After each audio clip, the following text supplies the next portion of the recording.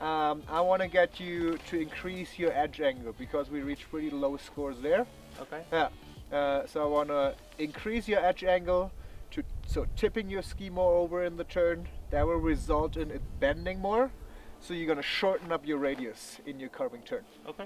We're gonna drag our pole on the outside of the turn. This was re- this will result in your upper body tipping over towards the outside ski. That, that way you will get more outside ski pressure and also more edge angle. Yeah.